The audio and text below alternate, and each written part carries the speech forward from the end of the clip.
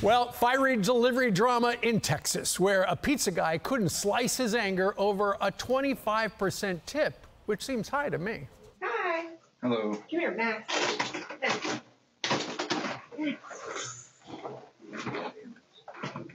Next.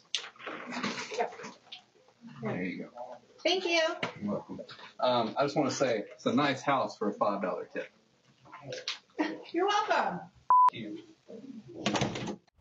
We had to beep that last part. Um, that homeowner, Lacey Purciful, joins us now to relive the encounter. Uh, Lacey, good morning to you. Good morning. Okay, so uh, y- your family was actually on Fox and Friends about four months ago, where you were talking about how you and your husband were in a car accident, and that's one of the reasons why you're getting a lot of food deliveries because you're you're a little laid up and you you don't want to you don't feel like uh, standing on your on your two feet all day long to cook. So the guy shows up with a pizza. You gave him 25%. What does he say right there? He, he- he's sassing you for not giving more than 25%? Yeah, because I have a nice home. And what did you say to him?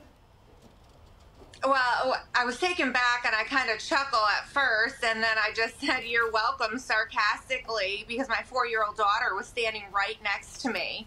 And that's when he started walking away and gave me, well, the big sayonara, and I just shut the door.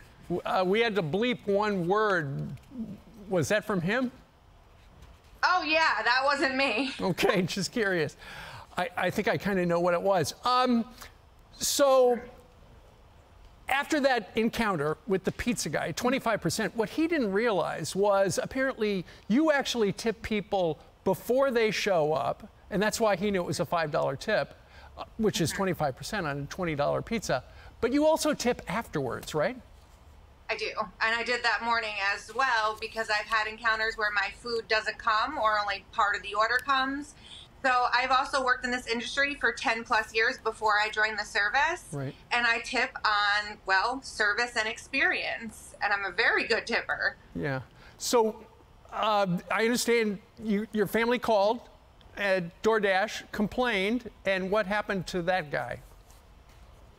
So my husband called that evening and they gave us a, a $5 refund. And then we spoke with them over the weekend again. And after they had looked at the video that I had submitted, they sent me an email and told me that he was going to be removed from their platform because they do not condone that type of thing. And they gave us a $75 credit.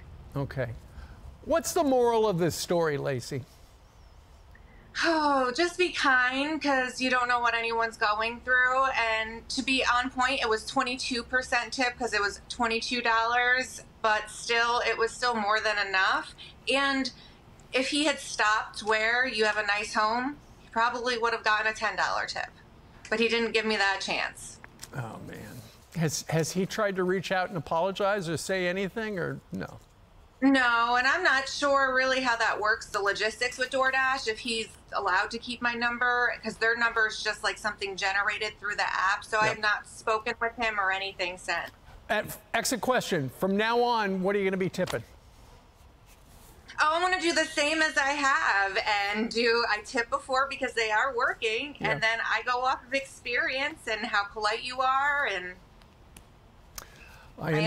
interaction. There you go. Well, Lacey, thank you very much for joining us and telling us your story. And good luck once again to you and your husband who are still recovering from that, uh, that accident four months ago. thank you so much. Thanks for having me. You bet. I'm Steve Doocy. I'm Brian Kilmeade. And I'm Ainsley Earhardt. And click here to subscribe to the Fox News YouTube page to catch our hottest interviews and most compelling analysis.